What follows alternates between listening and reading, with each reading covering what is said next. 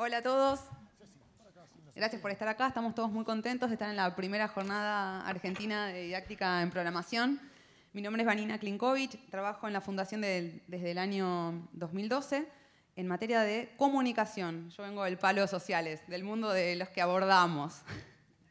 Eh, entonces, eh, estuve trabajando también en varios proyectos de la Fundación Sadowski, pero en los últimos años en programar, en la iniciativa que Fer estuvo contando grosso modo que se trata, y particularmente en la elaboración de los manuales, eh, de los cuatro manuales que en breve saldrán a la luz.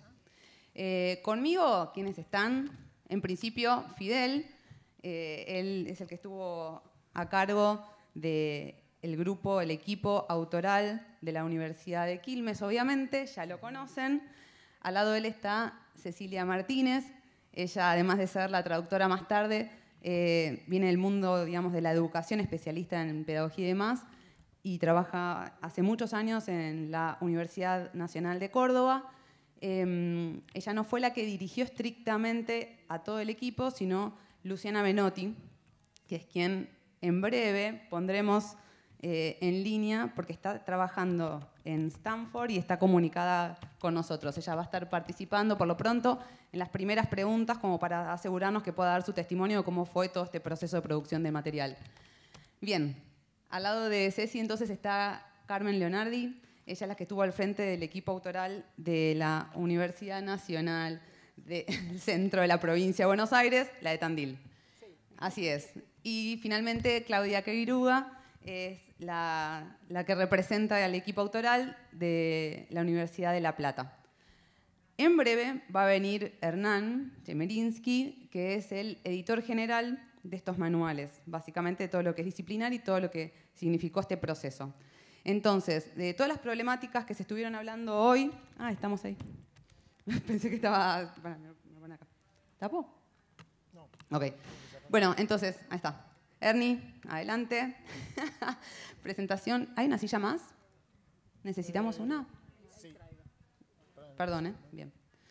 Bueno, entonces, mm, del desafío, digamos, de llevar la, la, computación, este conocimiento nuevo al aula, hay un montón de dimensiones, como Fer ya contó, que hay que abordar. Una de esas es la generación de contenido real, concreto, para dar en, en las aulas. De eso vamos a vamos a trabajar, vamos a hablar nosotros de cómo fue el proceso que atravesamos desde la, digamos, desde la iniciativa Programar, pero junto a las cuatro universidades. Es un proceso novedoso en el que aprendimos un montón de cosas y entonces queremos compartir con ustedes los aciertos, las preguntas que surgieron, los debates, las experiencias, etc. Bueno, en principio eh, la pregunta iba dirigida a Lu, pero sé si es lo mismo, puedes contestar la voz. Eh, perdón, me equivoqué, me equivoqué. Vamos a, perdón, vamos a empezar en realidad con el inicio, que es con Hernán, que nos va a contar, digamos, desde la fundación, lo que sería la etapa previa a la asignación de los manuales a cada una de las cuatro universidades, ¿está? Entonces, eh, la situación como la describía Fernando es, queremos llevar la computación al aula. Bueno, ¿en qué nos apoyamos? Hoy por hoy sabemos que en todo el sistema, digamos, de, educación, en lo que es la primaria y la secundaria, no hay NAPS, entonces eh, cuál fue, digamos, cómo se arranca, cómo se empieza el proceso, teniendo en cuenta esta situación. Ernie, ¿tenés?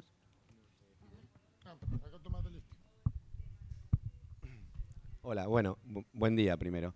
Este, bueno, efectivamente, como dijo Vanina recién, no teníamos eh, definidos núcleos de aprendizaje prioritarios para cada uno de los ciclos.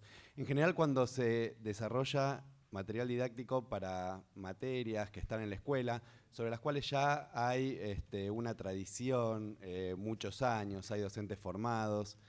Eh, de alguna manera estos NAPs definen objetivos que se espera alcanzar en cada uno de los ciclos de la escolaridad y son los que dan una pauta, una guía de eh, qué es lo que se quiere enseñar este, y de alguna manera guían ese proceso de generación de contenidos. En nuestro caso no teníamos esos eh, NAPs, eh, lo cual nos llevó a preguntarnos algunas cosas. Todos decíamos, y esto estoy convencido, digamos, me parece que en general los que estamos acá también, de la importancia que tiene llevar efectivamente la enseñanza de la computación a las escuelas, pero cuando decimos llevar la enseñanza de la computación a las escuelas, ¿qué estamos diciendo? ¿Qué es llevar la computación a las escuelas? ¿Qué es lo que queremos enseñar de computación? Es un campo muy amplio. Entonces, lo primero que hicimos fue definir una especie de, NAPS, una propuesta, digamos, que se asemeje en forma a como en general se definen los NAPS. Y para hacer eso, bueno, empezamos a tratar de contestar esas preguntas que tienen que ver con qué es o cuáles son los objetivos que queremos alcanzar eh, si queremos tener una materia en, las escuelas. Eso fue un proceso largo, eh, digamos, y que tuvo distintas etapas. En primer lugar, hicimos un relevamiento bastante grande eh, e intensivo de qué está pasando con esta problemática en el mundo, porque la verdad que no es algo local.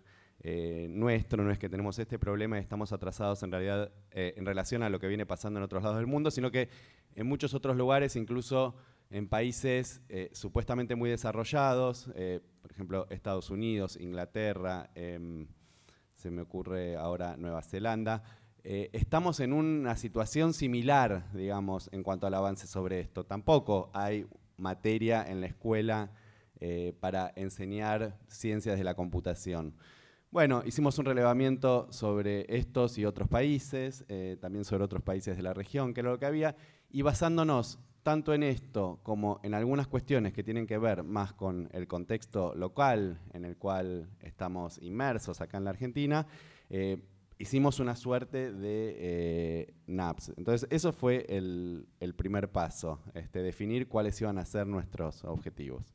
Ok, perfecto. Y una vez definidos los objetivos, cómo pensaron en hacer para transformar esos objetivos en material que se pueda llevar al aula, porque hay una distancia, ¿no? Entre de alguna forma definir curricularmente qué se tiene que dar para que después el docente pueda impartirlo, ¿no? Sí, y esto a lo mejor está también relacionado con em, la escasez de docentes formados eh, que pueden implementar este, contenidos en el aula. Digo, esto tiene que ver porque nosotros queríamos producir material que de alguna manera sirviese como apoyo, tanto para docentes que ya están en condiciones de dictar una materia de estas características, como para docentes que a lo mejor se empiecen a reconvertir este, o que puedan empezar a dar, siguiendo un poco el espíritu de lo que mencionaba antes Fernando este, sobre la propuesta de Paenza. Se nos ocurrió en ese sentido que eh, armar manuales era una buena idea, una buena, lo que podía servir como una buena guía eh, para los docentes, tanto formados como no formados, porque un poco lo que estuvimos viendo es que si bien existe material, eh, actividades y propuestas de actividades para llevar al aula, también es, lo cierto es que estaban muy em, desperdigadas, las encontrábamos en algunos lugares, actividades sueltas, no había nada que consolide este, el material y que de alguna manera eh, sirva para pensar una materia más cabalmente, más globalmente. Eh, entonces, bueno, dijimos, ok, hagamos manuales eh, y démosle una cierta estructura a esos manuales para que este, pueda llevarse el contenido al aula.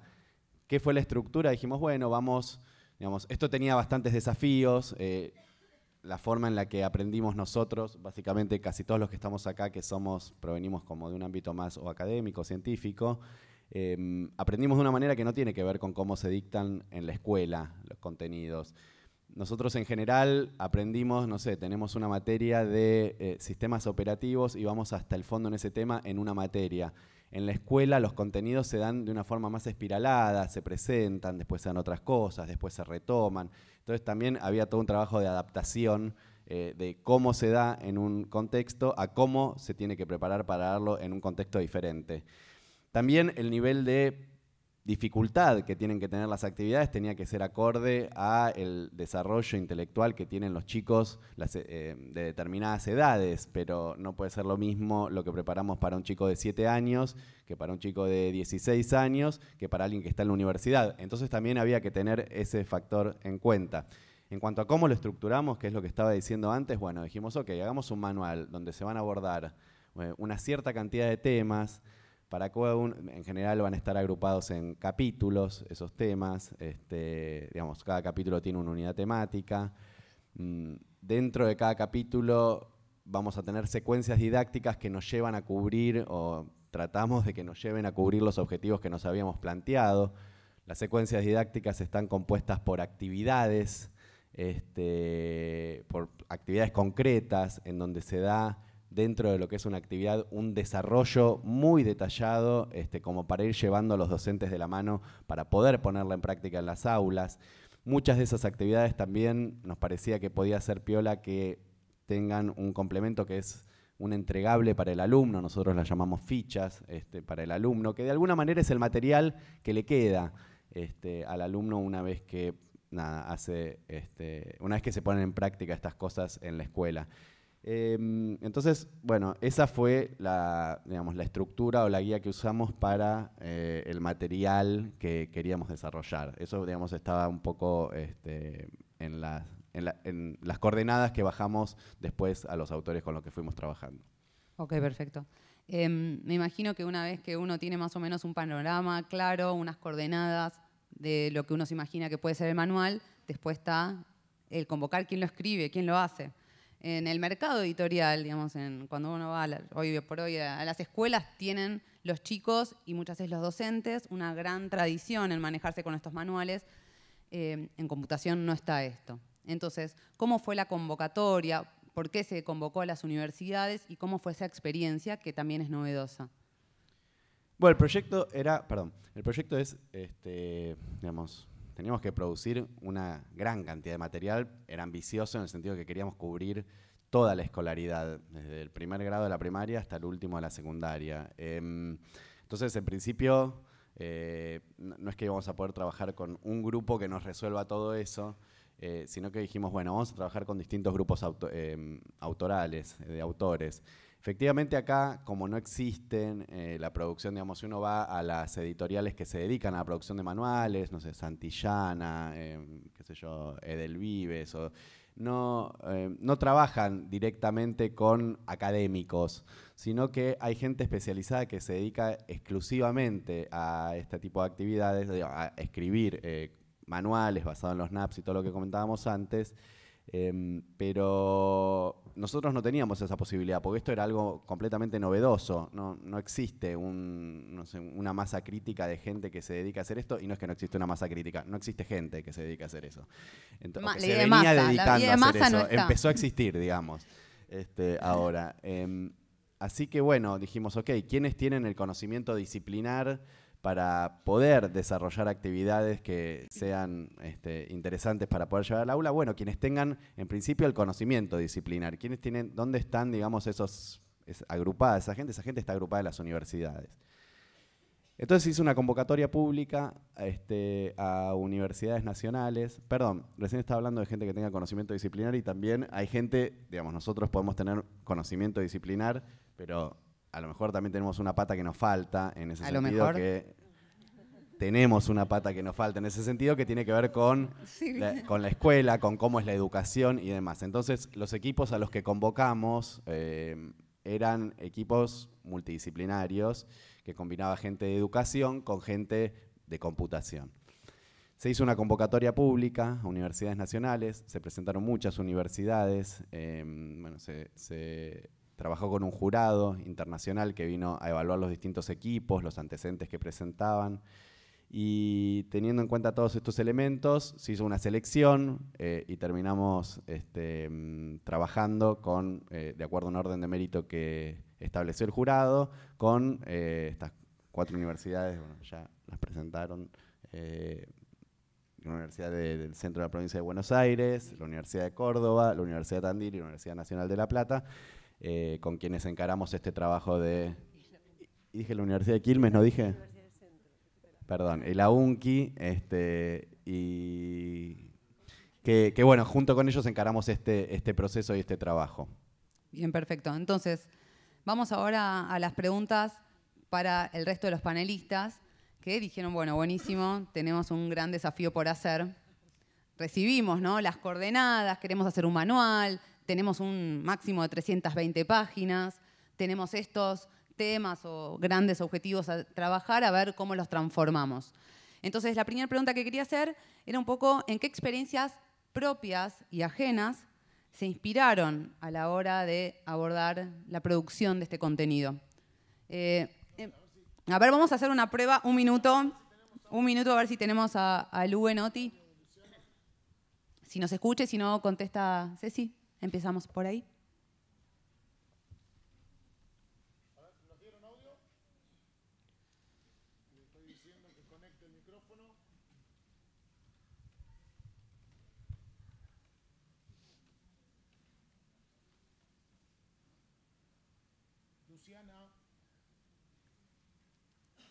Bueno, vamos, vamos adelante con Ceci. Lu, cualquier cosa va a poder contestar alguna otra de las preguntas. Luciana, fíjate si conectas el micrófono, por ahí podemos darte ahora una pregunta. ¿Me estás escuchando, Luciana? Sí, te escucho. ¿Cómo me escuchan ustedes ahora? Buenísimo. Te conecto. Ahí estás, estás en pantalla gigante. Estaba tu video, ahora ya no está, pero te escuchamos. Así que Vanina te va a hacer una pregunta. Bien, yo los escucho también. Bueno, gracias. Eh, les contamos entonces recién a la audiencia que cómo fue la previa, digamos, a la, digamos, a la asignación de la tarea de desarrollar eh, cada manual a cada universidad. Y ahora queríamos empezar con ustedes, con la Universidad de Córdoba. Cuenten, por favor, cómo fue, eh, en qué se inspiraron, tanto en experiencias propias y ajenas, a la hora de el desafío de desarrollar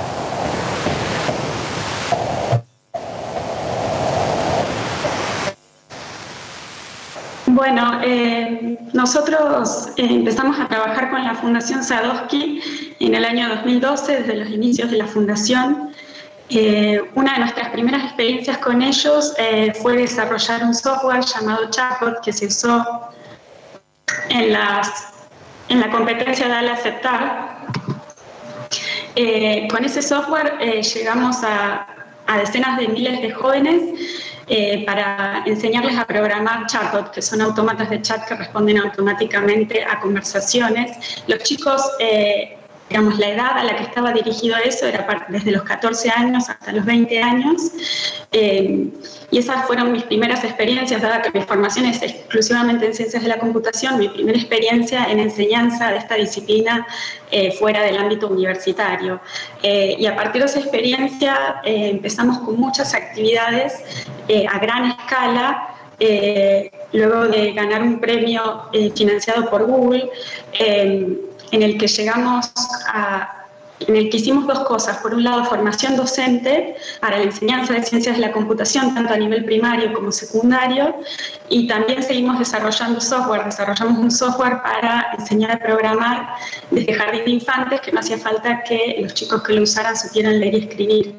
Entonces, todas estas experiencias a lo largo de los años, de estos seis años que venimos colaborando, eh, que como digo fueron muy intensas, un trabajo de todos los días, eh, de estar en esta área, de ir a las escuelas, de conocer la realidad de las escuelas y de los docentes. Eh, eso fue lo que nos fue dando la experiencia para poder transmitir el conocimiento que ya veníamos enseñando a nivel universitario a otros niveles educativos. de otro tipo, de otros lugares.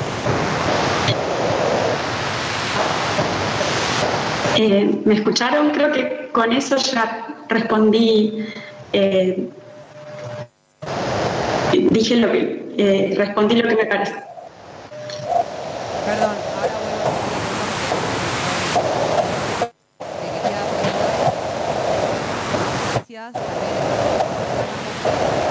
quería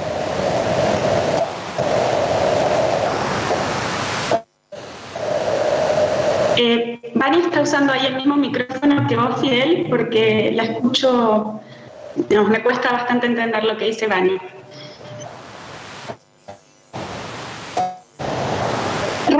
Yo te escucho bien a vos, sí.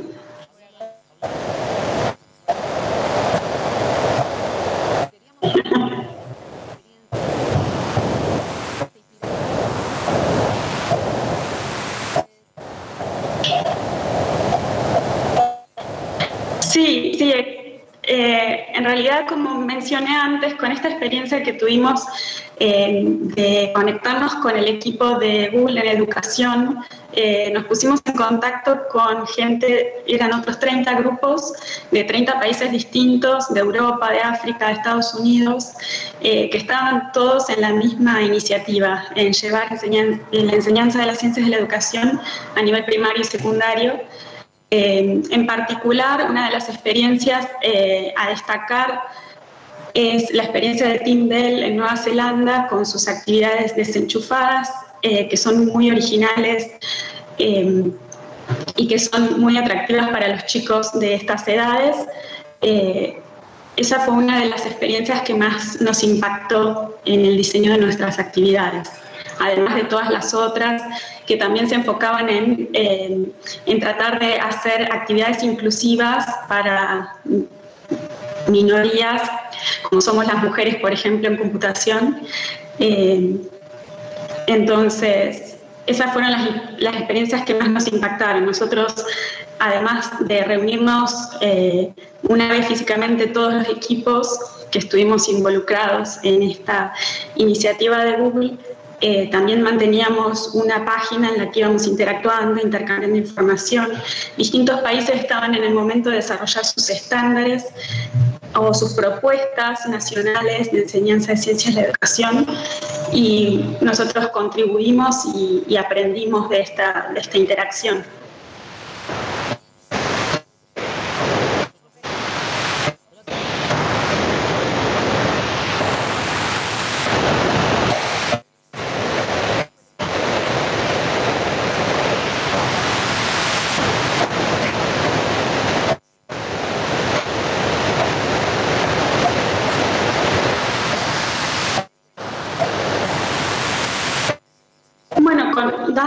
Experiencia de ir a las escuelas y conocer los problemas concretos de las realidades, la falta de conectividad, la falta de computadoras, o que las computadoras están pero no andan, o que no tienen batería, eh, distintas eh, cosas de la realidad diaria de las escuelas.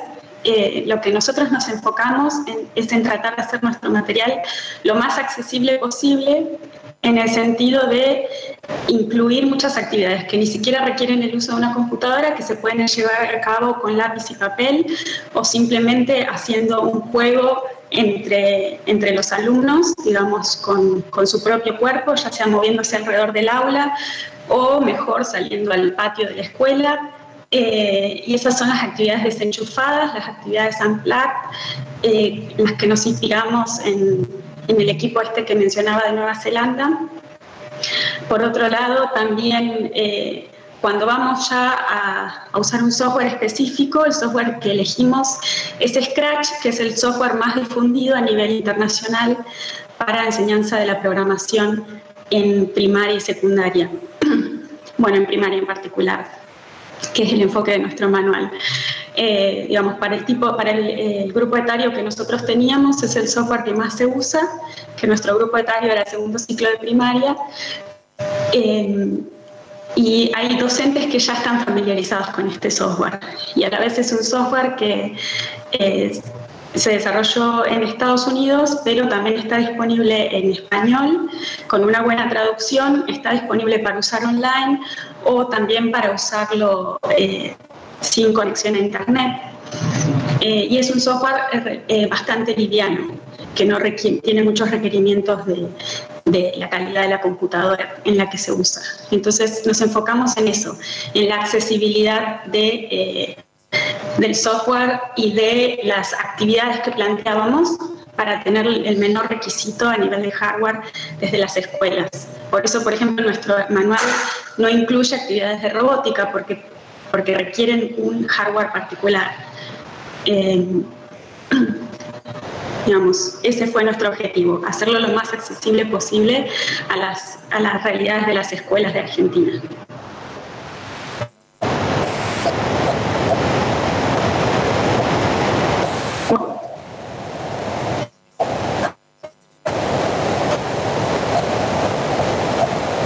Lo sigo por ahí. Mucha suerte y Gracias por, por incluirme. Hasta luego.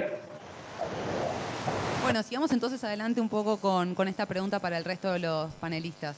Me interesa un poco entonces saber eh, cómo encaró cada universidad el enfoque propio, ¿no? la mirada propia sobre estos objetivos que se les había dado desde la iniciativa Programar. Eh, Claudia, eh, podés arrancar. Ella estuvo al frente de lo que es el manual del segundo ciclo de la secundaria, es decir, de los chicos más grandes. Bueno, buenos días. Este, bueno, gracias, Vanina. ¿Se escucha? No. Nosotros eh, no nos escuchamos. Pero... sí, bueno.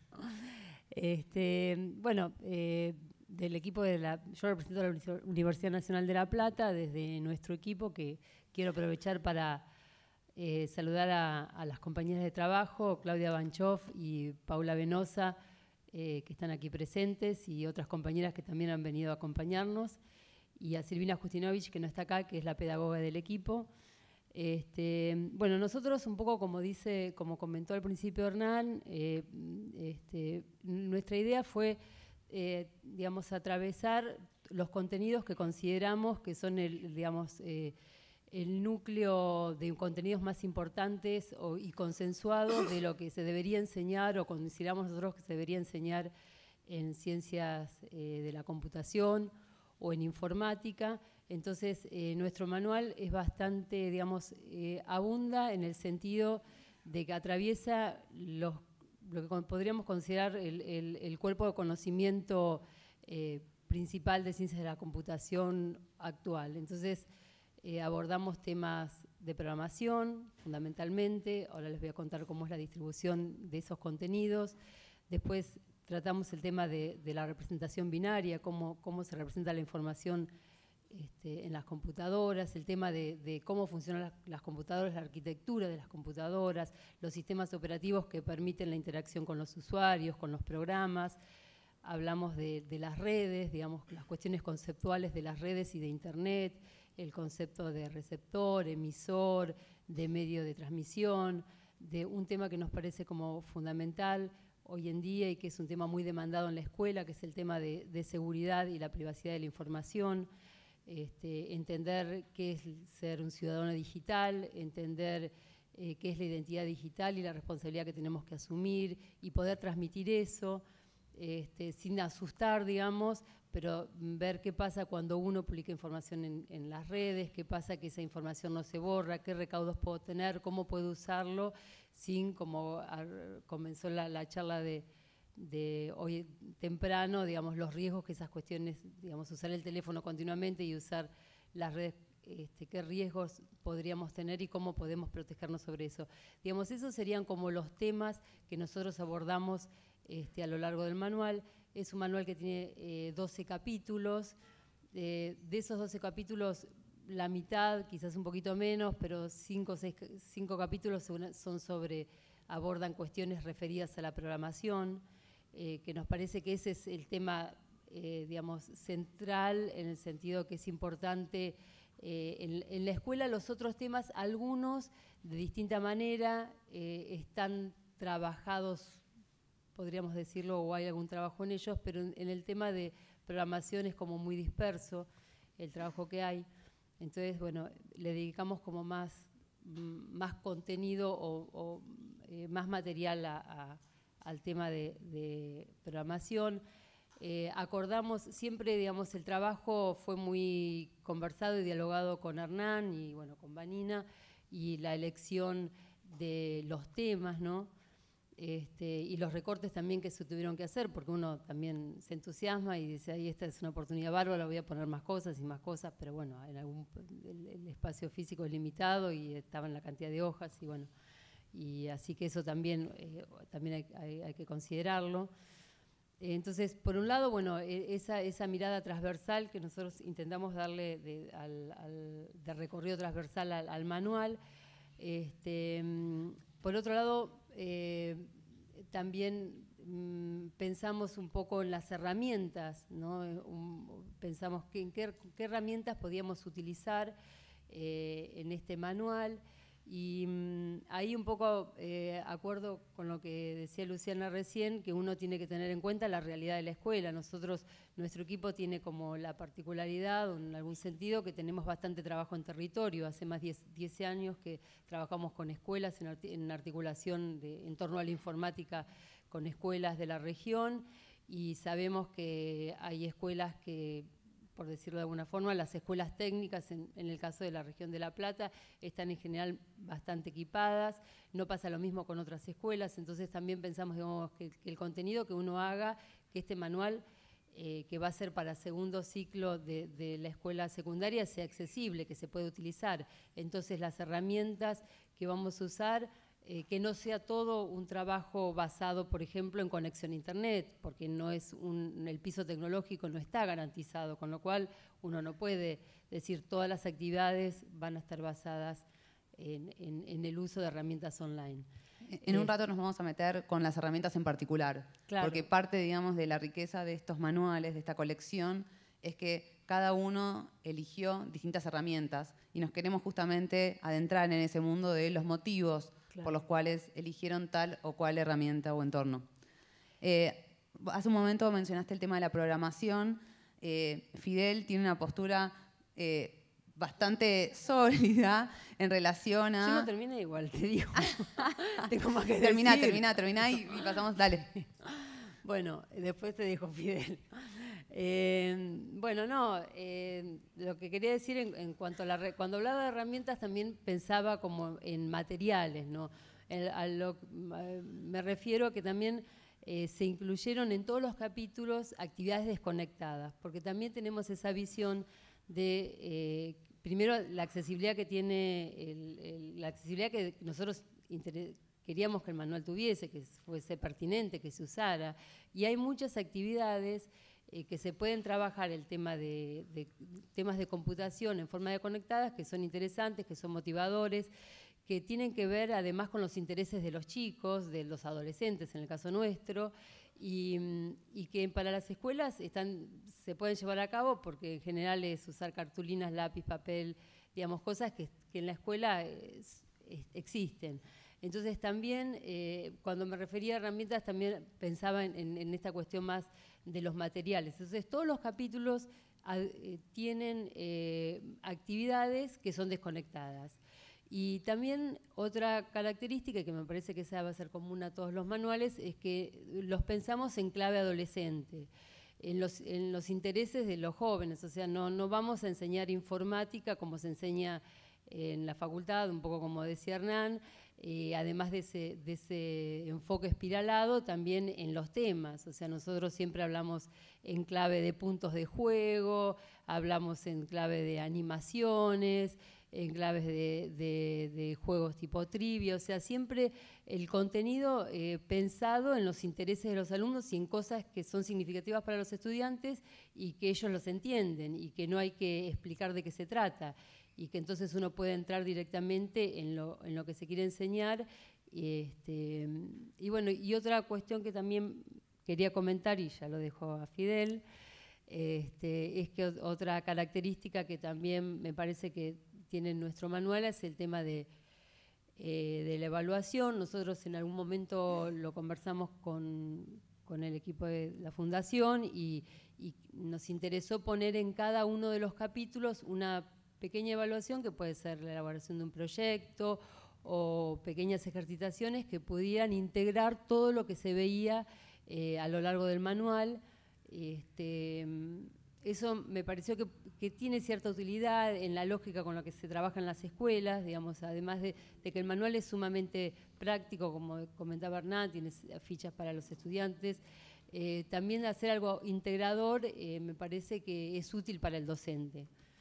Eh, ok, clarísimo.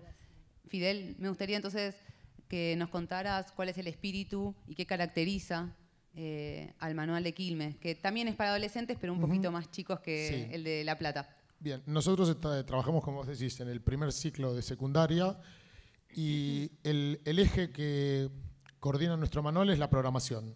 Eh, el, manual tiene ocho capítulos, de los cuales cinco están dedicados a programación y nosotros trabajamos con una eh, una hipótesis que voy a describir con una metáfora. ¿no? hacer un, un programa es como poner una obra de teatro. Uno tiene una puesta en escena con un vestuario, con actores, con maquillaje, con sonido, con luces, pero cuando está trabajando antes de, que la obra de teatro tenga público, el público también es una parte importante en la obra de teatro, los actores trabajan el texto, trabajan las actitudes, trabajan el personaje, se trabaja con cómo va a funcionar el, escenario en bambalinas, dónde va a estar parado cada uno fuera de escena, qué momento entra, en qué momento sale. O sea, un montón de cosas que la gente que, es público y que ve la obra no es consciente cuando ve la obra, pero que está atrás. Y entonces hay que trabajar con esas bambalinas. Para que una persona pueda poner una obra de teatro, no solamente tiene que saber eh, maquillarse y salir a decir un texto, sino que tiene que trabajar en un equipo enorme con un montón de aspectos, que no son solamente los que se ven. Un programa, hacer un programa tiene esa misma, eh, esa misma lógica, esa misma mecánica. Hay un montón de cosas cuando uno hace un programa que no se ven para el usuario. El programador las tiene que saber. Entonces, eh, el enfoque del manual nuestro es cómo vinculamos esos dos mundos. en la universidad, los cursos universitarios, los cursos que uno ve tradicionalmente para aprender a programar, te muestran todas las bambalinas, te muestran cómo son los cables, cómo funciona la computadora, cuáles son las cosas que uno tiene que hacer, si hay, qué tipos de datos hay, si hay arreglos, si hay variables, si hay vectores, si hay punteros, no sé, mil palabras técnicas que no tienen ningún sentido para la gente en general y que te abruman. Vos decís, ah, no puedo saber con todo esto cómo hago una obra de teatro. Por otro lado, los enfoques más modernos, los enfoques eh, del tipo Scratch o lo que hacemos con pilas bloques, tienen el enfoque completamente contrario. Te estoy todo vestido y yo te doy para que vos digas tus líneas y entonces ya está terminado la obra de teatro. Entonces, básicamente es, te montamos todo el escenario, te ponemos todo el vestuario, todo listo, vos salís, decís tus líneas, hiciste una obra de teatro. Y para nosotros eso está bien porque uno empieza a involucrarse con el mundo de la programación, pero para entender realmente programación tenés que vincular esas dos partes. ¿eh? Entonces nuestra pregunta fue, ¿cómo vinculamos esas dos partes? Y trabajamos con esa base. Entonces ofrecemos un modelo de computación simplificado, pero no sobresimplificado. O sea, es rico porque se puede hacer cualquier cosa, pero se entiende muy fácil. Y le vamos dando elementos de a poco, vinculando siempre esto de tener el cuidado de eh, no sobreabundar en las herramientas primero, y después trabajar la, parte de vestuario y de puesta en escena, sino ir vinculando un poco con puesta en escena, le vamos dando de a poco la puesta en escena, la damos nosotros hecha y le pedimos un par de líneas, después le hacemos al revés, ahora ves la puesta en escena hecha, vos tenés que estar en, en, bambalina sosteniendo o moviendo el cartón para que pase la tormenta, ¿está bien? Y jugando con esos distintos elementos y posicionándolo al, al chico que está aprendiendo en distintos lugares de la obra que vaya aprendiendo cómo funciona una obra de teatro. Y culminamos, el manual termina con una última actividad, que es programar un Pac-Man desde cero. O sea, con todo lo que aprendió, el, alumno puede sentarse en, en, el entorno de programación que elegimos y diseñar, obviamente guiado, un Pac-Man desde que empieza con el escenario vacío hasta que termina con todas las luces montadas y todos los personajes vestidos. Entonces, es un poco como darle la satisfacción de que todo eso que aprendió tuvo un final en una obra de teatro completa que montó él solo. Ok, genial. Esto me trae también a, colación eh, el tema de que no todos los manuales le dieron una preponderancia tal a la programación.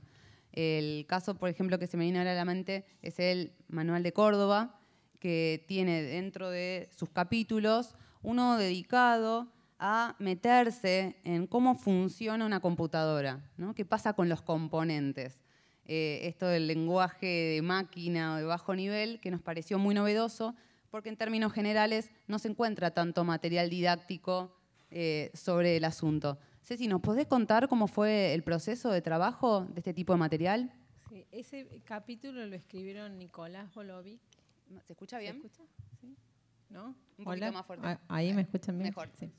Eh, lo escribió un profe que da sistemas operativos en la universidad y que él ya venía experimentando em, con sus alumnos de la universidad algunas estrategias para enseñarles esto que ustedes llaman el, bajo nivel.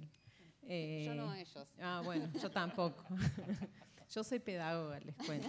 Eh, entonces, eh, bueno, lo convocamos a, a, trabajar a Nicolás y ellos, Nicolás y Ezequiel, que lo acompañó también en esta aventura, tenían la convicción previa de que eh, si uno entiende cómo funciona en el nivel más mínimo la computadora, eh, puede, claro, puede entender todo lo demás, digamos. Y ese fue el punto de partida.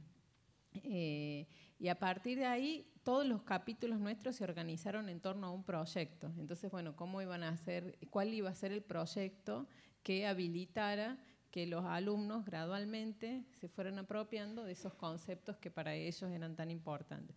Y fue la máquina de encriptación. Me encantó. Eh, y tuvo muchísimas correcciones antes de que llegara a sus manos. Y después llegó a sus manos y era, ¿y cómo Cecilia vio esto y no dijo nada? Eh, pero fue un enfoque muy constructivista eh, que fue para mí el desafío como pedagoga era no eh, limitar ni eh, distorsionar la intención del profesor que es experto en contenido. ¿no? Desafío. Claro, cómo, cómo iba a, ofrecer ese, esos saberes. Em, son profes que tienen muchos años de experiencia. ¿no? Y, la didáctica en la programación es una didáctica en construcción, no sé que ninguno de nosotros tiene el saber preciso para decir, no, vamos para este lado, ¿no? Yo le, daba aportes de didáctica general, leía paper, mira lo que se hizo acá, eh, y, bueno, y tratando de eh, que el juego sea lo más simple eh, posible, porque como lo habían diseñado ellos al principio era muy complejo. Y bueno, y, logramos un juego donde gradualmente los chicos iban entrando al mundo de, la computadora. Tal cual, y que todos logramos entender cómo se ejecuta un programa. Para mí fue una novedad. Bien, ¿y cómo es entonces, ya que estamos, y después pasó a Carmen, cómo, cómo, es, eh, cómo fue en realidad la interacción que hubo al interior del equipo, ya que todos tenían formaciones o voz diferente al resto? Bueno, en general había como un primer bosquejo de lo que cada profesor proponía eh, y después muchas idas y vueltas. Generalmente lo que pasaba era, eh, y ahí, ahí, lo tengo el profe Eduardo, por ejemplo, me acuerdo, él escribió el capítulo de redes con Martín, y bueno, y me mandaban cinco páginas de conceptos puros y duros, ¿no? Entonces, redes, tal cosa, la LAN, la no sé qué. Entonces yo decía, bueno, pero ¿con qué pregunta que ellos, que los chicos conozcan, podés empezar? Y terminaban de las cinco páginas en 25 con lo que mis colegas computólogos llamaron chamullo, ¿no? y el chamullo era, este, a mí me gusta la metáfora que usa Mark Gustial para decir qué es lo que es enseñar computación. Y es enseñar eh, a hacer una receta de cocina, pero sin nunca haber probado la textura, el olor, el sabor de los ingredientes. Y eso para el campo pedagógico es casi un imposible, porque nosotros hace más de 20 años que los psicólogos cognitivos, o mucho más, este, nos vienen diciendo el aprendizaje tiene que ser consentido. ¿no? Y esto que hablaba de la obra de teatro, uno no puede coordinar las luces si no sabe para qué, si no sabe que en realidad hay un actor que es importante que en ese momento esté iluminado porque hay un sentir en el, en el discurso del actor. ¿no? Entonces tenemos esa paradoja de enseñar la ciencia de la abstracción eh, cuando sabemos que en realidad se enseña desde lo concreto, que se aprende, digo, desde lo concreto, lo que tiene sentido, los olores de, la, de, la, receta de cocina.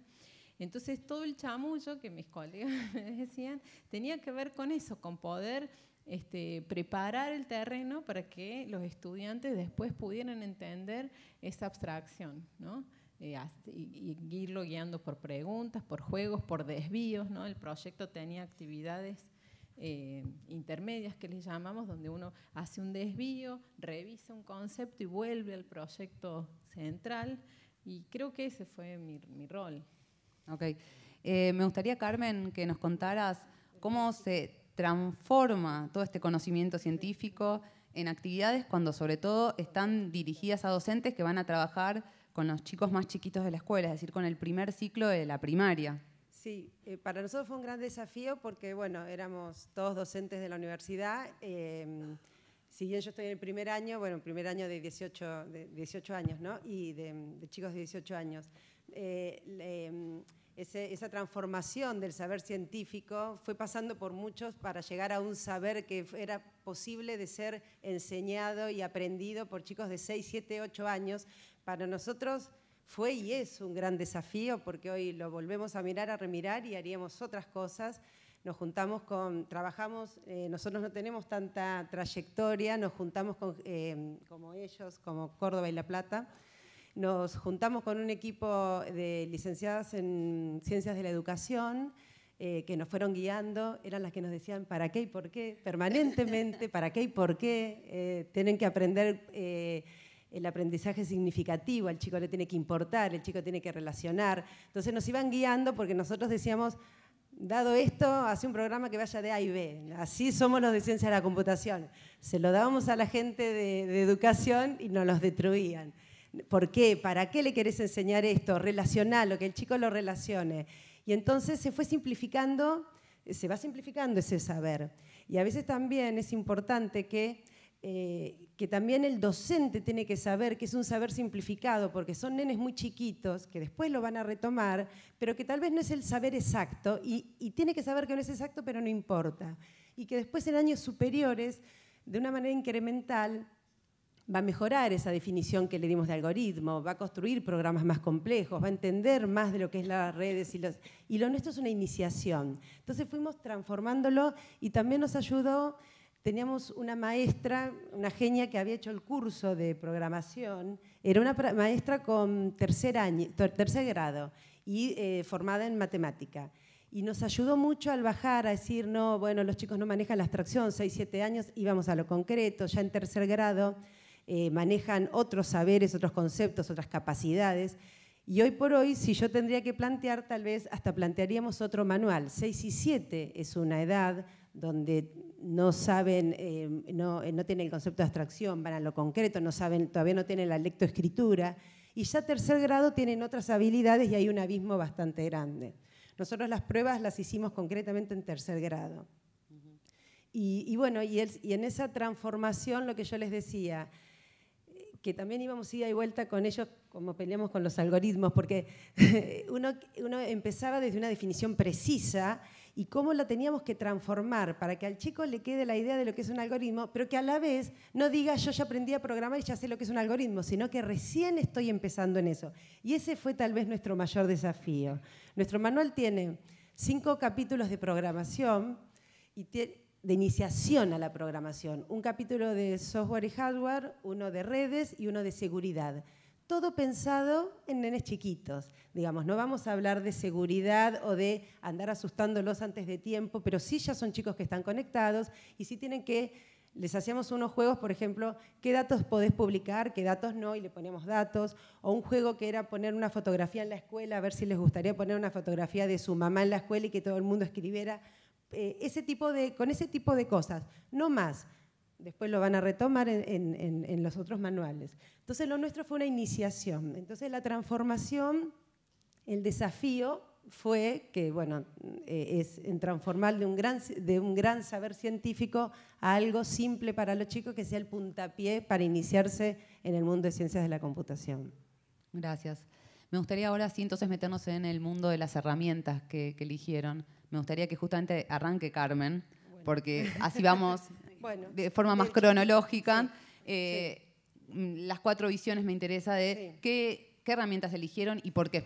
Bueno, eh, yo no sé si les, eh, al igual que ellos, nosotros tenemos herramientas, nosotros en las actividades de programación, las de redes, internet y mm, todas esas son actividades unplugged. Las de programación, los cinco capítulos que se dedican, conviven ejercicios, actividades pensadas para un software y actividades unplugged. Em, está en desarrollo por la fundación, eh, la fundación está eh, desarrolló Pilas Bloque. Pilas Bloque nos parecía bárbaro, nos encantaba, pero aún así nos parecía complejo para nenes tan chiquitos que no saben leer y escribir. Y a su vez el manual nuestro tiene cinco personajes, cinco eh, animalitos que queríamos que fueran los protagonistas de ese software. Eh, claro, Beto no, desapareció cuatro. Son cuatro, son No, cuatro. matamos a uno. Sí, no, no, no porque estuvimos desarrollando, ahora les contamos. No, porque Beto desapareció. Sí. Sí. Entonces, bueno, eh, es un, un Pilas Bloque Junior que está en desarrollo, que está simplificado en cuanto a que los chicos no escriben, entonces las instrucciones tienen que ser con dibujitos y a su vez que sea lo mínimo necesario para que el chico no se distraiga, porque los chicos manejan bárbaro la computadora, pero la manejan bárbaro, pero se nos va de foco de lo que queremos hacer. Entonces es una simplificación para que logre eh, lograr el cometido que, que queremos hacer. Bueno, es un software que está en desarrollo y muchas de las actividades se basan en él, con los cuatro, persona- los cuatro personajes. Digo los cuatro personajes porque lo estamos desarrollando en la fundación, estamos muy involucrados con los personajes por, por allá están Franco y demás, Alf, que están involucrados en el desarrollo y la verdad que es una experiencia súper rica, muy intensa y bueno, falta poco para terminarla. Así que de repente nos apareció un personaje nuevo. Bueno, eh, Ceci, el Córdoba, que es el manual que sigue, ¿por qué eligieron Scratch? Más allá, digamos, de lo que contó Lu- Luciana. ¿Un motivo extra? Sí, ¿Querés agregar algo más? No. Que, que por eso. No, lo que sí estaba pensando mientras le escuchaba hablar es que este, esta, este, el saber escolar, que es un saber distinto al saber científico, es siempre una transformación. Tampoco nos, sintamos, digamos, que estamos haciendo, bastardeando la disciplina, porque eso es lo que le pasa a la matemática, a la química para ser enseñada digamos, y es una construcción histórica. Y, la, y el- a las ciencias sociales también, o sea, la revolución de mayo se ve desde jardín de infante hasta el último año del secundario. Pero es un, con- son con el concepto de revolución se va tomando con distinta profundidad, digamos. Y ese es el trabajo didáctico que tenemos que hacer para lograr que la, la disciplina sea enseñada. Fidel, Bueno, ¿nos no- querés hablar de Gobstones? Dale. Nosotros eh, elegimos eh, la herramienta que estamos desarrollando. el- nosotros decimos entorno, porque usamos herramientas para las cosas que, pro- que, que usás a la hora de programar en tu cabeza. Pero bueno, eh, cuando yo diga entorno, ustedes entiendan cuando van y dice herramienta y estamos. Nosotros desarrollamos en la universidad desde 2008 un- una forma de enseñar a programar que le dimos el nombre Gobstones y a- eh, conjunto con eso desarrollamos un lenguaje de programación que la expresa perfectamente esa, esa forma de enseñar y lo hicimos porque nos pasó lo siguiente, teníamos que enseñarle a programar a profesionales y cuando llegamos a la Universidad de Quilmes nos encontramos que los chicos que venían de las secundarias, que eran alumnos, los, alum- los alumnos que teníamos que formar, no tenían las bases matemáticas ni las bases que nosotros suponíamos de la Universidad, eh, por ejemplo, de Buenos Aires o de la Universidad de La Plata, donde hacen un montón de trabajo previo en cursos de ingreso, etcétera.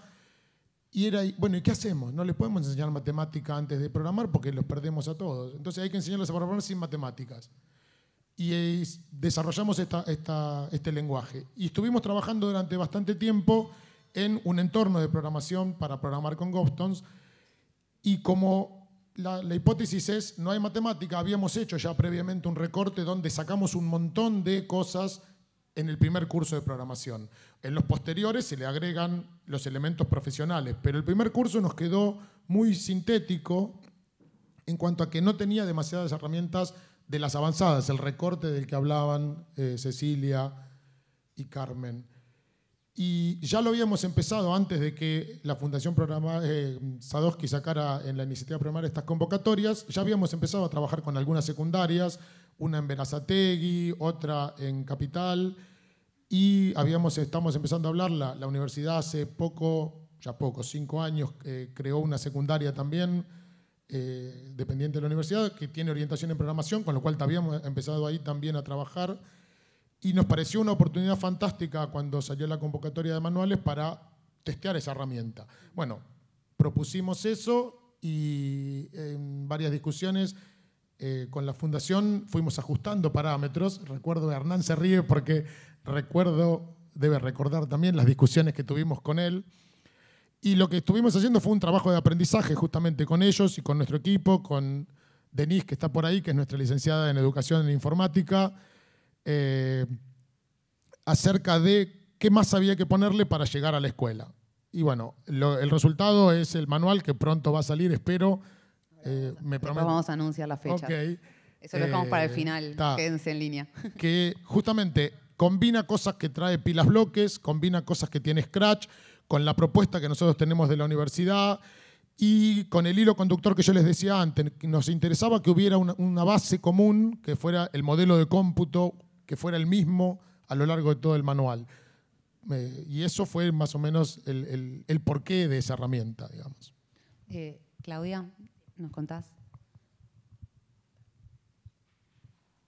Bueno, en, este, un poco, bueno, acuerdo y, y a nosotros también este, nos pasaba lo mismo en, cuanto a, que, lo que hablamos de, los recortes y las transformaciones que es necesario hacer este, para, poder este, entrar en diálogo con la educación, en este caso en el segundo ciclo que nos tocó a nosotros de, la educación secundaria. Entonces, en cuanto a las herramientas, bueno, como les comenté anteriormente, venimos trabajando con escuelas, ya teníamos algunos criterios formados, o sea, íbamos a trabajar en, queríamos trabajar en programación este, basada en bloques, que es lo que estábamos nosotros utilizando en, nuestras iniciativas, y teníamos algunas ideas de, herramientas a utilizar, eh, pilas bloques era una de ellas, eh, bueno, Scratch, eh, juegos de bloque, o sea, teníamos como unas ideas de, de herramientas que nos interesaban. Bueno, y Hernán este, nos vino con una propuesta, con una sugerencia de em, eh, trabajar con Alice. Yo tengo que ser sincera, al principio nosotros no, no estábamos muy convencidas de trabajar con Alice, pero nos convenció. Así que Bien, en bien nuestro ahí. manual tiene Alice. Eh, nos convenció. Se vio con todo el mundo, ¿no? Ya estamos- A varios convenció. Claramente se, vio con todo el mundo. Sí. Este, bueno, eh, el trabajo, digamos, eh, entendemos que eh, Alice eh, para el segundo ciclo tiene una cuestión que después nosotros valoramos como interesante, este, que está basada en programación orientada en eh, basada en bloques, pero está un poco más cercana a la programación textual que otras herramientas como Scratch.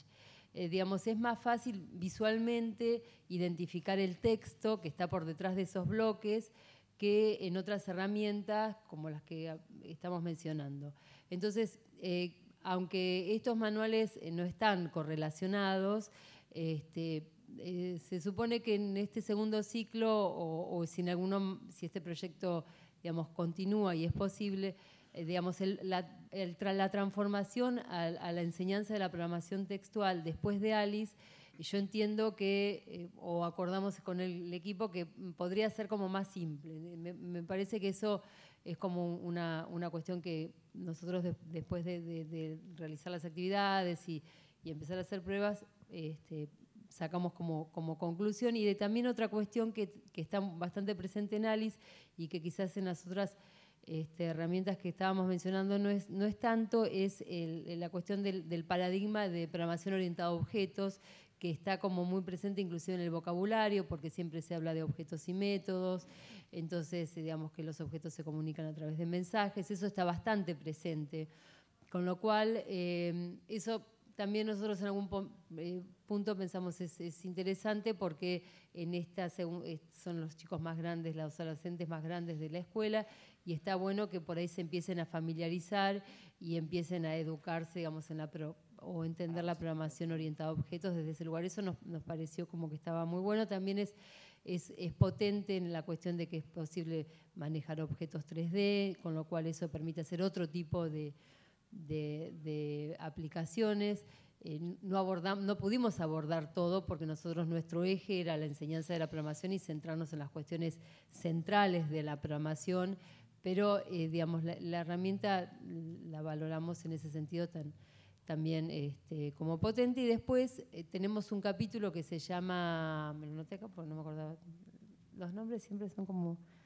Eh, pero era, ¿vos te acordás, Hernán? No, Bueno, bueno, era un capítulo sobre proyectos educativos, eso.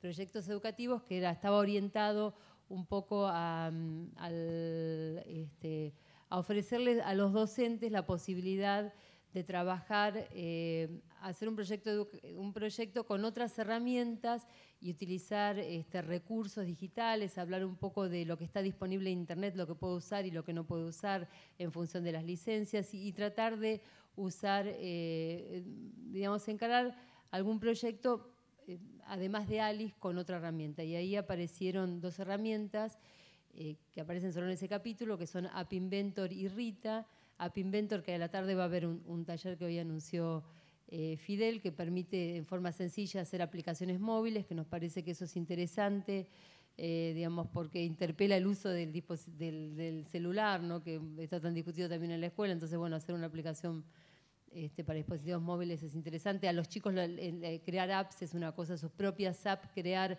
su propio contenido es algo que les interesa, que los motiva.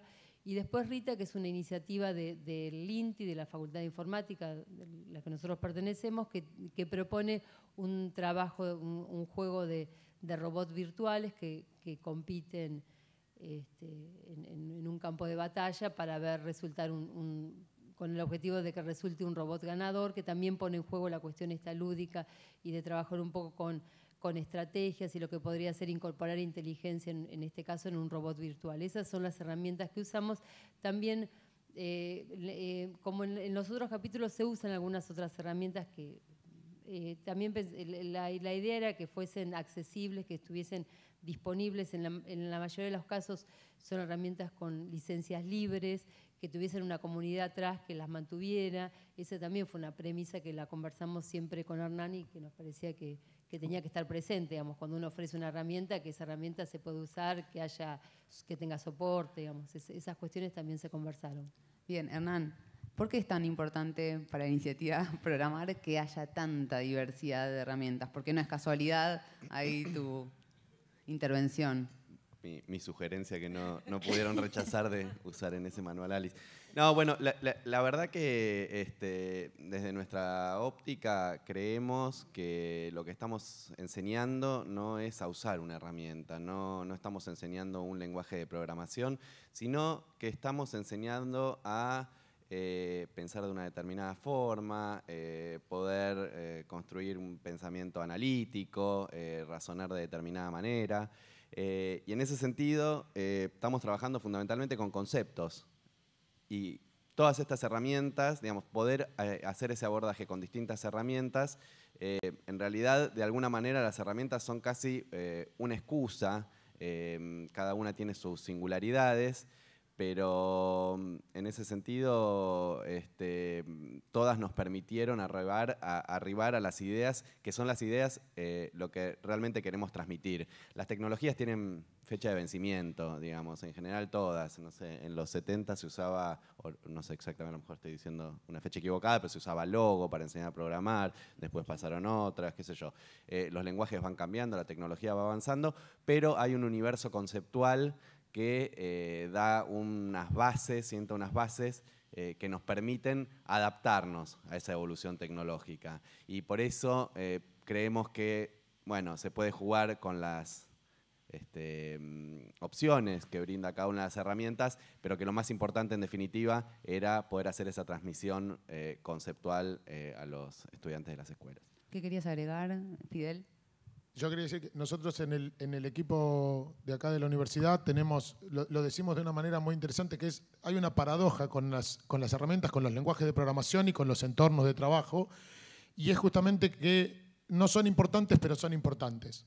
Entonces uno dice, lo que vos decís es cierto, ¿por qué no son importantes? Porque nos interesan los conceptos, nos interesan las ideas. Sin embargo, el lenguaje de programación, el entorno que utilizamos, es la única manera en que podemos plasmar esas ideas y verlas en funcionamiento. Y si el entorno no me ayuda a plasmar las ideas, si el entorno me lo dificulta, si el lenguaje de programación me complica, es muy difícil transmitir las ideas y lograr llegar a las mismas. Entonces es paradójico en ese sentido. Por eso hay un foco puesto en la diversidad de las herramientas para quitarle presencia, pero también hay que concentrarse mucho en las herramientas. No, seguro que hay herramientas buenas y herramientas malas. Eso, digamos, es algo que estamos, me parece que estamos todos de acuerdo. hay lenguajes que son mejores que otros, siempre analizándolos desde una determinada perspectiva. Siempre priorizamos que esas sean buenas. Bueno, una vez dicho eso, una vez que decimos, bueno, estamos trabajando con herramientas que tienen un cierto grado de madurez, que nos permiten transmitir los conceptos, etcétera, etcétera, ahí a lo mejor apuntaba yo. No, no, No, no. no era nada contra ningún lenguaje en No, no, no, en seguro. Lo, pero lo que quiero decir es que en general es para nosotros como profesionales y mucho más para el público, para la gente que nos ve trabajar o que usa nuestros productos, eh, olvidarse, digo, se, se olvidan de que el entorno no es importante, de que la herramienta no es importante. Entonces se terminan haciendo guerras de si Scratch o Alice, si este o el otro, cuando en realidad tenemos que estar discutiendo qué conceptos enseñar, no qué herramientas utilizar. Pero si no discutimos qué herramienta utilizar y justamente las bondades o dificultades que me ofrece una herramienta para determinado enfoque, también estamos perdiendo el punto. Entonces, eso es una tensión que tenemos que resolver y parte de esta búsqueda que hacemos entre todos tiene que ver con eso, con entender a dónde estamos apuntando y recordarnos continuamente de que el foco es los conceptos, las ideas, pero a través de mecanismos que sean piolas. Entonces, creo que estamos trabajando ahí justo en el lugar adecuado. Perfecto. Bueno, entonces, llegamos a la instancia en la que entonces las universidades, sus equipos autorales, trabajaron en los contenidos, eligieron las herramientas, propusieron secuencias didácticas con actividades. Todo eso básicamente fue entregado en etapas a la Fundación Sadowski, al equipo de programar de los manuales. Hernán, esto significó miles de páginas, literalmente. ¿Sí? Miles de páginas. Eh, ¿Cómo siguieron para procesar todo y darle una forma? ¿Qué pasos siguieron? Bueno, primero, eh, fueron literalmente miles de páginas, o sea, era una cantidad de contenido eh, difícil de absorber este, por un equipo tan chico como el que conformamos los que estábamos trabajando. Fuimos ampliando el equipo, en primer lugar. ¿Cómo, cómo? Ah, Ya te vas a enterar. todavía está en proceso eso, no, no tengo una respuesta. Este, mm, eh, bueno, entonces pasaron muchas cosas. En principio hubo un trabajo de ida y vuelta entre el equipo de la fundación, entre revisores del equipo de la fundación y los equipos autorales, en donde se fue pingponeando el contenido, este, con, bueno, recibíamos las propuestas, se estudiaban las propuestas, se hacían devoluciones, en base a esas devoluciones se hacía un refinamiento del material, etcétera. Acá hay algunos este, de las personas que estuvieron, está Franco, que ya lo habían mencionado, eh, bueno, después se incorporó Julián, y no, no- no quiero seguir dando nombres para no olvidarme de nadie, pero hubo mucha gente de la fundación, ya dije dos, Ger. este, Que está acá Eh, también, Germán. eh, que estuvo trabajando en ese proceso de revisión del material. Una vez concluido eso, seguíamos teniendo miles de páginas. Este, y lo que pasaba era que, bueno, nosotros trabajamos con distintos equipos, que, donde cada equipo tenía su estilo, si bien se habían eh, pautado ciertas eh, coordenadas en cuanto a eh, registros de lenguajes a utilizar y demás, nos encontramos con un material muy heterogéneo. Muy heterogéneo entre los distintos manuales e incluso muy heterogéneo dentro de un manual en donde, bueno, dijimos, eran equipos autorales y en general se dividían los capítulos que escribían entre distintos autores, entonces entre distintos capítulos tampoco había una homogeneidad. Nosotros, digamos, nuestra propuesta era hacer una colección de manuales, este, no eh, algo que sea como más un, bueno, lo, que venga por acá, lo que venga allá, sino que tenía que tener una uniformidad.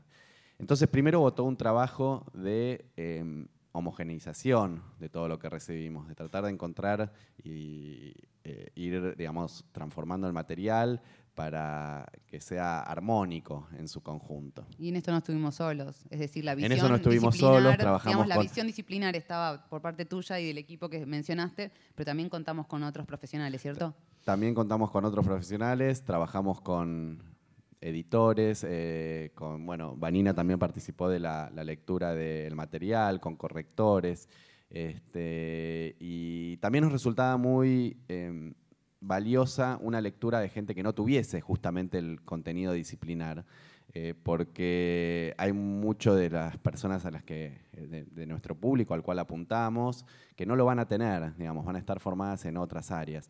Entonces, las devoluciones que obteníamos de ellos también nos resultaron muy valiosas, nos permitieron decir, ah, bueno, para nosotros cosas que a lo mejor eran evidentes no lo son tanto. Eh, entonces hay que reforzar o desarrollar más eh, algunos desarrollos, hay que ilustrar determinadas este, propuestas para que resulten, digamos, para que complementen este, la información del texto que habíamos recibido. Este, y, en ese trabajo conjunto que fuimos haciendo con, bueno, con, como decías, con editores, con correctores, con ilustradores, con diseñadores, bueno, terminamos arribando o estamos todavía este, en proceso de arribar a esta idea que teníamos originalmente, que era producir una colección de manuales. A mí me gustaría también una pequeña mención con respecto a la propuesta estética o al trabajo que tiene que ver con el mundo de los diseñadores gráficos e ilustradores, que también fue muy rica y tuvo su desarrollo, ya que el manual no está solamente dirigido pura y exclusivamente a los docentes, tiene también las fichas entregables, digamos, que están dirigidas a los chicos. ¿En qué consistió ese trabajo? Bueno, digamos, estos manuales son, de algún, digamos, este, los manuales en general son productos editoriales y su lenguaje, el lenguaje que utilizan no se limita al texto escrito.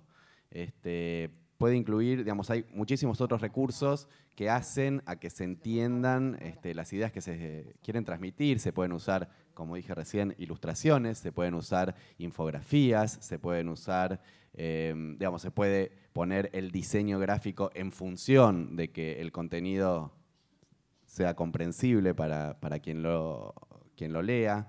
Em, así que, bueno, eso. Y además, digamos, a nosotros nos importó muchísimo el contenido, eh, sin contenido creemos que no tenemos nada, pero también nos importó mucho la forma. Eh, podemos mostrar, podemos mostrar una muestra, es un adelanto.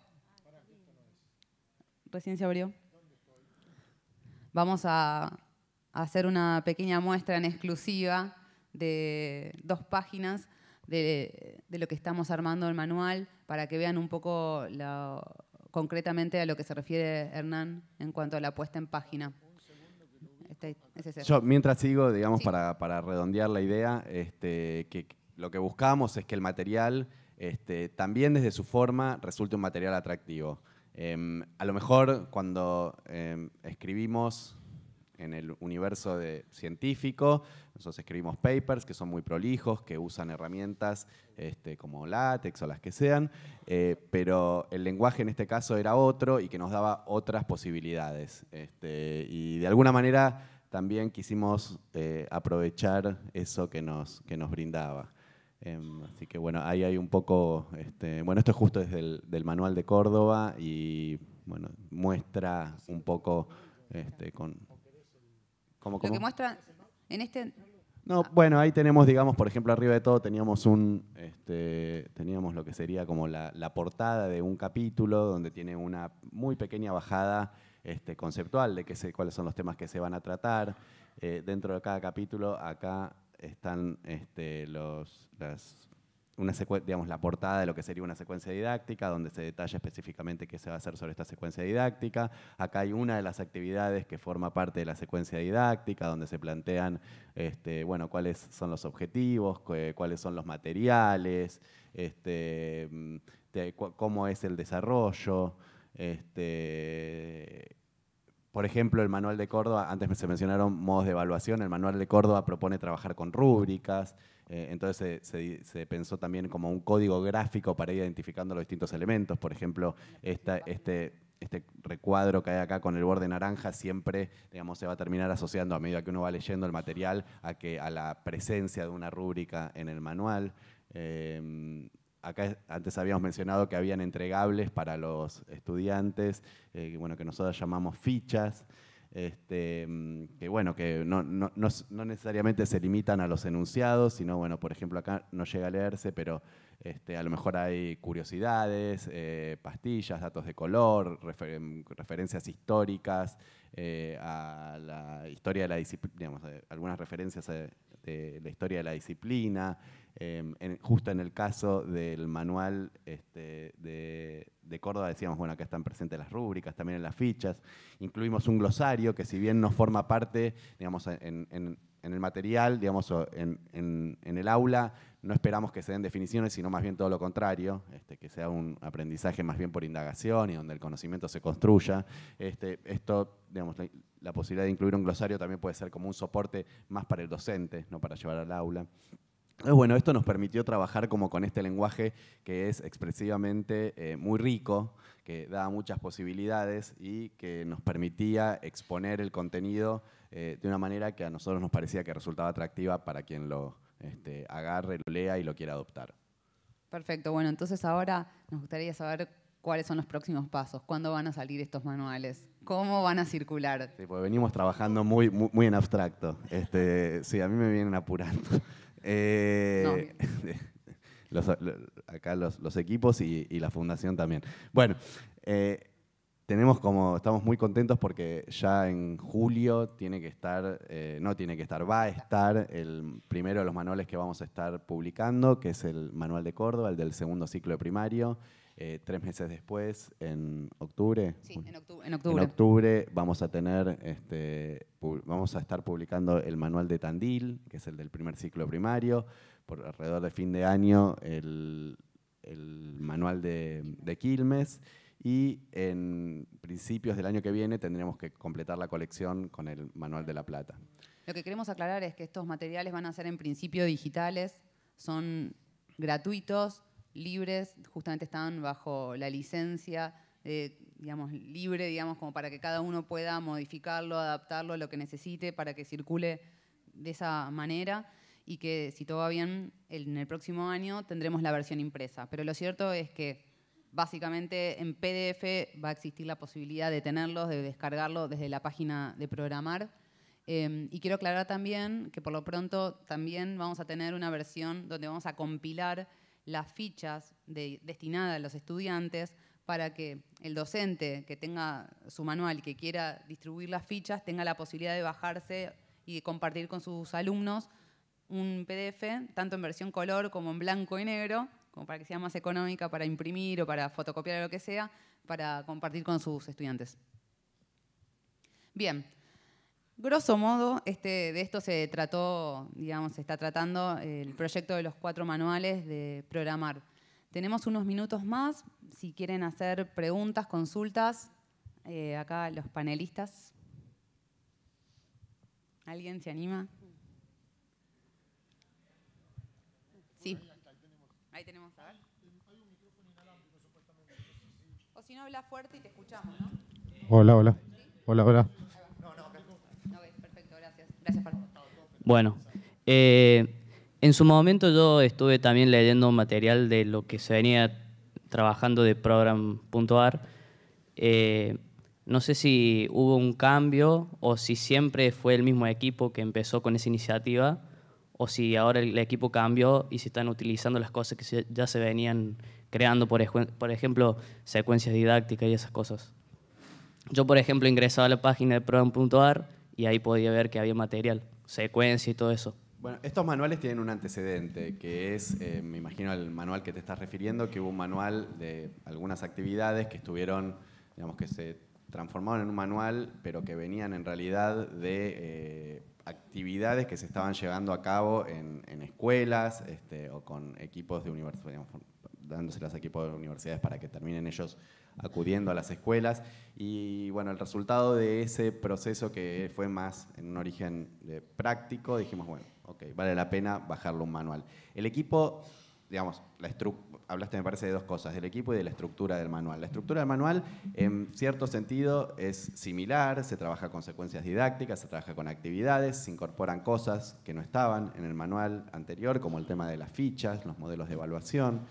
Em, aparte, ese manual previo fundamentalmente estaba dedicado a eh, cuestiones de programación, fundamentalmente a incorporar este, programación usando estructuras de control, eh, acá el, digamos, el abanico de temas que estamos cubriendo es mucho más amplio. Este, y en cuanto al equipo de formados programar, bueno, eh, fue creciendo, fue evolucionando, algunos se fueron, otros llegaron, digamos, o sea, hay algunos que están desde el principio, otros no.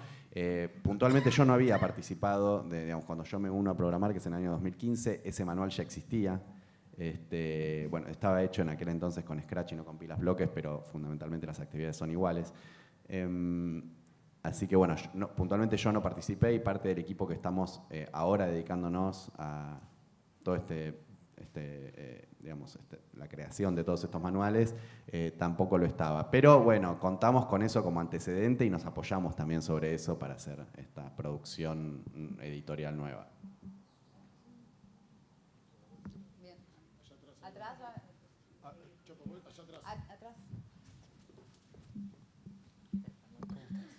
Hola, ¿qué tal? Buenos días. Eh, mi nombre es Marisa, yo formo parte también de ADICRA, cuando la nombraron sobre los, lo que trabajamos en Ciudad para, para que se reconociera el espacio de informática. Y la pregunta, primero que seguimos ahora nuestras luchas porque haya el espacio curricular de ciencias de la informática en todo el país, cosa que no sucede. Pero otra preocupación que tenemos es la realidad con la que cuentan, o sea, se terminó el, el programa Conectar Igualdad. Entonces tenemos un tema que es el equipamiento. Eh, mismo en ciudad, escuelas que de pronto, cuando entró Conectar Igualdad, el laboratorio se desguazó por diferentes motivos, porque por ahí eran, máquinas viejas, terminaron haciéndose una o dos y fueron a parar a secretaría, con lo cual eh, al no tener tampoco eh, un referente muchas veces para liberar los arranques de las máquinas de conectar, sumado a que no se están entregando, hay algunas entregas, pero eso no, no es digamos, como plan, como un programa como se venían entregando. Entonces, hay una, un déficit que tiene que ver con justamente el equipamiento. ¿Ustedes saben si va a haber algún plan de entrega, no digo de, no sé si entrega a uno a uno a los alumnos, pero realmente las escuelas necesitan equipamiento. Y otra cosa que necesitan es una conexión Wi-Fi, porque también el tema es que trabajo con el celular, pero ¿con qué datos? O sea, los datos móviles los tiene que utilizar el docente y el alumno, ¿no? Bueno, eh, yo voy a contestar eso. Me parece que Fernando eh, es la persona adecuada para contestar esa pregunta, pero simplemente, digamos, eh, desde lo que es la perspectiva de eh, estos manuales que estamos elaborando, bueno, mencionar que eso, realmente este proyecto empieza en 2015, este, este nuevo proyecto de manuales, en ese momento las condiciones objetivas eran otras, digamos, este desmantelamiento al que haces referencia comienza más tarde. Y o sea que no, digamos, desde su génesis no estábamos viviendo la misma realidad, desde la génesis de este proyecto. Eh, de todas formas, como mencionó Luciana, y esto en realidad está presente en todos los este, manuales, hay muchísimas eh, actividades que forman parte de los manuales que no requieren de ninguna infraestructura y que trabajan sobre las ideas que están presentes cuando digamos, este, nos referimos a la disciplina de ciencia de la computación en sus distintas áreas. Hay una parte que sí requiere de infraestructura, digamos, en algún momento este, hace falta poner las manos sobre el teclado y evidentemente que se, digamos, que se este, desmantele o que se, mm, no sé si a lo mejor el desmantelamiento es completo, esto se lo dejo más a Fernando, que haya, digamos, este, que empiecen a haber problemas de infraestructura, es algo que nos juega en contra. Este, pero bueno, le cedo la palabra. No, al, respecto no, eh, no sé si tengo eh, mucho para aportar, más que eh, por ahí poner en común la información que es pública, digamos. El programa Conectar Igualdad, a partir de un decreto de hace un par de semanas, fue reemplazado por otro que lo que plantea es que la decisión del equipamiento se vuelve provincial, que cada provincia va a poder avanzar eh, y e, eso es todo lo que sabemos, digamos. Eh, eh, por supuesto que esto nos preocupa a, todos los que trabajamos en estos temas. digamos, una preocupación que, compartimos, pero la verdad que más precisiones que, que lo que figura ahí en el, en el, en el decreto no, no, tenemos. O sea, se abre ahí una, una pregunta interesante, digamos, que es eh, cómo avanzar en el, escenario nuevo, que lo que propondría solo por una cuestión de, orden es que para eso tenemos este panel que llamamos preocupaciones transversales, digamos, y por ahí ese es el lugar eh, digamos, más, apropiado para debatirlo, solo por una cuestión de orden y para quedarnos hoy con, ahora con las cuestiones más editoriales. Pero la verdad que no tengo mayores precisiones. Acá tengo una pregunta o había alguien antes. Eh, bueno, yo lo que quería comentar, trabajo en una escuela en la provincia de Buenos Aires y en la localidad de Gleu. Y las escuelas que fueron incluidas en el proyecto Escuelas del Futuro están recibiendo equipamiento nuevo. Eh, en internet hay algún material sobre Raspberry. Lo que recibimos en, la escuela nuestra en particular y que ahora tienen que venir los facilitadores a darnos el instructivo son eh, placas Raspberry combinadas con Arduino, con un kit de Arduino. Son, en, la escuela que yo estoy recibió 17 equipos que se tienen que armar, que se arman dentro de una computadora que está impresa en 3D, toda la, carcasa de la impresora es 3D, y, bueno, y eso es lo que, lo que al menos este año eh, esto llegó a la, a la escuela. No, lo que no hay es información de qué escuelas están incluidas en el proyecto. La verdad que ni siquiera yo en la escuela lo pude averiguar. Algunos me dicen que es región 2 acá en la zona, pero no, pude averiguar todavía qué otras escuelas están incluidas en el, plan. Pero el proyecto de escuelas del futuro, eh, las que estén incluidas eh, como escuelas del proyecto de futuro, eh, escuelas de futuro, están recibiendo ese equipamiento. ¿Hay alguna otra pregunta más para el tema de los manuales ahí atrás? Ah, perdón, Estaba primero acá. Y acá hay dos preguntas, ¿sí? Sí. Bueno. Sí, propongo si las quieren hacer las dos juntas y las respondemos juntos. Mi nombre es, eh, Guillermo, trabajo con pilas y bloque en cuarto año, un programa sensacional, pero lo terminamos tan rápido. ¿Habrá una extensión a las actividades de pilas y bloques? este, para poder avanzar un poco más, porque los alumnos realmente se entusiasman muchísimo, pero lo hacen todo tan rápido este, que en tres clases prácticamente finalizan las actividades. Bueno, acá la colega ah, quería hacer una pregunta.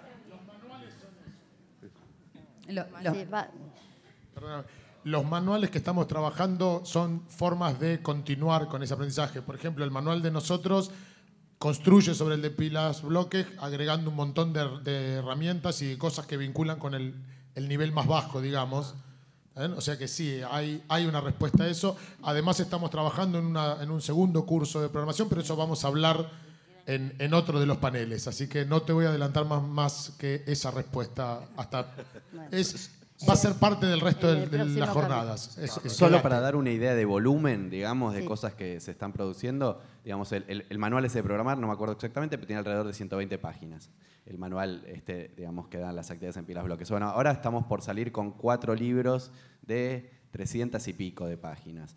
O sea que no sé si te va a servir para cubrir... Eh, esperemos que cuarto, eh, quinto año. 12 años, pero esperemos que un poco más, digamos, que por lo menos les dé tiempo hasta... Y también el proyecto surge un poco por esa demanda de que exista material, digamos. Bueno, hola, mi nombre es Alejandra, soy de la ciudad de La Plata. Vengo interesada, lógicamente, por toda la propuesta de, la universidad y de, la de programar. Pero bueno, nosotros eh, es, en, la provincia tenemos, eh, digamos, muy poca, digo, a pesar de que tenemos la Universidad de La Plata, no tenemos muchas capacitaciones ni, digamos, información sobre esta iniciativa. Y quería saber que, bueno, este manual, ¿a qué, a, qué alumnos va dirigido? Porque solamente en escuelas públicas, yo doy clases en escuelas públicas, eh, en cuarto año, en ETICS, que es un solo año, y en las escuelas técnicas hay que ver a, a qué alumnos va apuntado este manual, si es que se van a utilizar en las escuelas de la Ciudad de La Plata o se podría compartir esta iniciativa.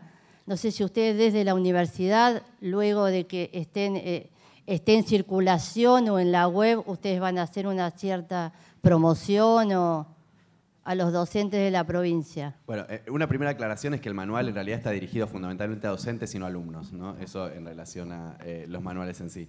Pero después los manuales tienen, se van a distribuir gratuitamente, digamos. Eh, van a estar disponibles eh, seguro desde la página de programar, no te puedo dar una dirección web, pues todavía no está, pero este, sí, y te, digamos, te invito a que te suscribas a los distintos canales de comunicación que hay de programar, no sé, tiene este, Twitter, Facebook, qué sé yo. Quiero aclarar algo igual. ¿eh? Digamos, por las dudas son cuatro manuales. Hay uno para el primer ciclo de la primaria, otro para el segundo ciclo de la primaria, un tercer manual para el primer ciclo de la secundaria y un cuarto manual para el último ciclo de la secundaria. Nosotros queremos aclarar, como te decía Hernán, que pueden suscribirse a través, digamos, de, del sitio web de Programar para que les lleguen, lo van a poder descargar y demás, pero queríamos aclarar, me estaba acá eh, anunciando Fernando, que nosotros cuando tengamos la, digamos, las versiones impresas de estos manuales, vamos a mandar a las cuatro universidades, a las universidades digamos, con las que trabajamos lotes de, de estos materiales como para que puedan también alcanzárselos a los docentes. ¿Está bien? Y, otra cosa que preguntaste es a quién estaba dirigido. Bueno, estuvieron concebidos pensando en el aula eh, argentina. Es muy, es muy dispar, es decir, digamos, aula argentina, bueno, una escuela este, eh, de frontera a lo mejor no tiene las mismas condiciones que una escuela más privilegiada que puede estar ubicada en un centro urbano. Este, pero bueno, en principio em, es como teniendo en cuenta o pensando que nos queremos dirigir a el, espectro más amplio que, esto pueda ser. Este, en ese sentido es muy importante también la devolución que nos den ustedes, porque lo cierto para nosotros es que esto es un proceso constante de construcción y la verdad es que a medida que vamos haciéndolo y llevándolo incluso a la práctica al aula concreta, nos damos cuenta de ideas de mejora, de ciertos aciertos y de ciertos desaciertos.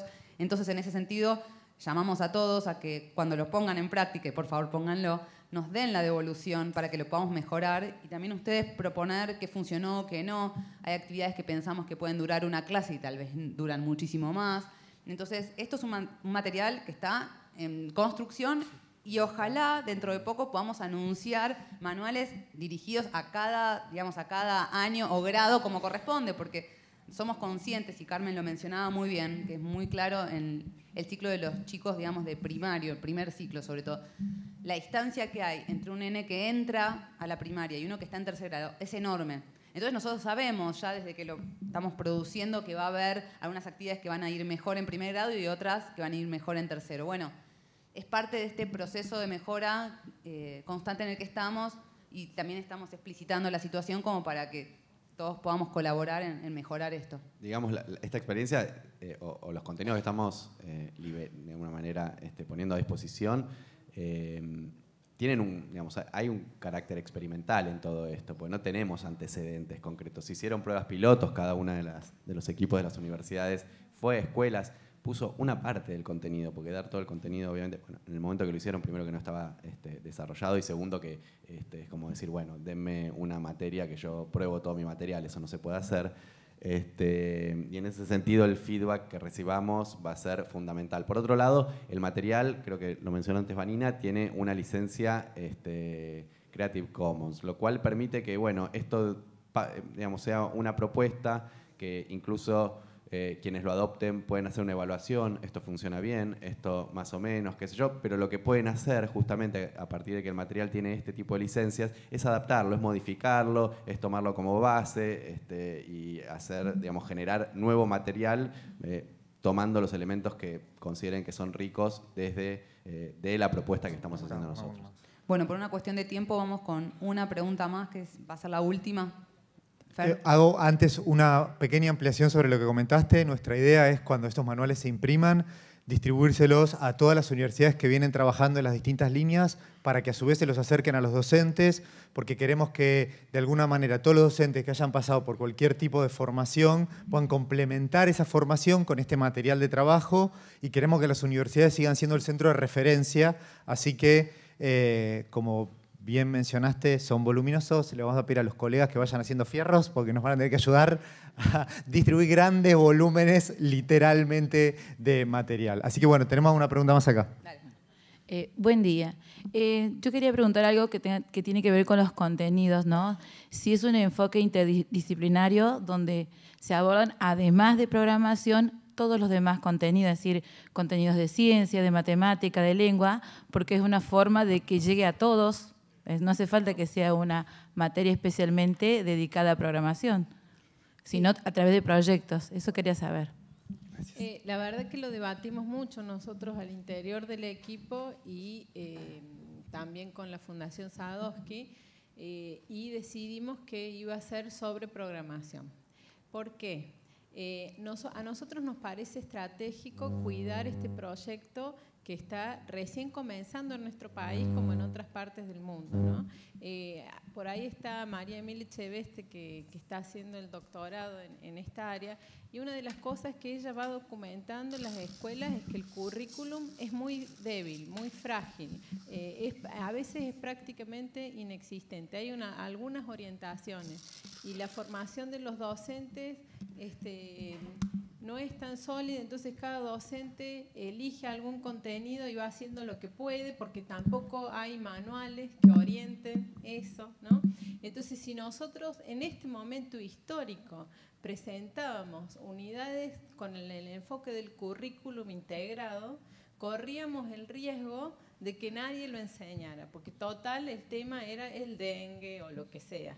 Eh, personalmente, yo soy una militante del currículum integrado. A mí me encantaría ver que las escuelas trabajen en torno a problemas donde se integren todas las disciplinas. Pero en este momento histórico, donde eh, todavía estamos luchando para que se reconozca como asignatura en el espacio curricular no nos parece adecuado. Primero tenemos que construir una didáctica, un saber escolarizado que además tiene fecha de, vencimiento. Las bases curriculares de la provincia de Córdoba tienen fecha de vencimiento. ¿Por qué? Porque ya como sociedad, como comunidad educativa, nos hemos puesto de acuerdo que el currículum, es decir, los contenidos, la secuenciación, la jerarquización, la graduación, ¿no? eso es lo que es el currículum, es algo que se tiene que re revisar de tanto en tanto. Y te doy un ejemplo, cuando yo iba a la escuela no veíamos tanto los pueblos originarios, ¿no? las, las, historias de los vencidos. Y ahora mis hijos en historia ven el rol de la mujer, ¿no? Fíjate, entonces los contenidos tampoco van a ser para siempre. Esto que hoy hemos decidido ahora es lo que hemos podido hacer con, con los saberes en este contexto histórico, con los saberes que tenemos de programación y de didáctica. Pero yo espero que dentro de cinco años estemos hablando de otros contenidos, ¿no? de otras estrategias, porque es parte de lo que es el currículum escolar. Déjame, una, eh, yo, quería, una... yo, quería, hacer una aclaración cortita, que es, esta es una de las preguntas que vamos a discutir en el panel de final de mañana. Es una pregunta que está planteada, es muy buena la pregunta y es una de las cosas que vamos a trabajar, justamente lo sé si lo decía recién, pero mañana la vamos a ahondar con más profundidad, un panel dedicado a ese tipo de preguntas. No, no, listo, queda para mañana entonces. Ya está, ya está. No, bueno, digamos, muy, muy eh, sintéticamente, eh, digamos, lo, lo, que nosotros estamos muy convencidos es que así como eh, lengua, matemática, historia, digamos, son eh, campos del conocimiento. Sin duda la ciencia de computación también lo son y es algo que no está atendido en este momento y que es absolutamente fundamental que empiece a hacerlo. Siempre es como un reclamo de déjenos a nosotros también. Pero nada, solamente aclarar eso y en todo caso que la discusión más extendida quede para el panel de mañana. Bueno, estamos en tiempo. Eh, les agradecemos a todos por estar acá.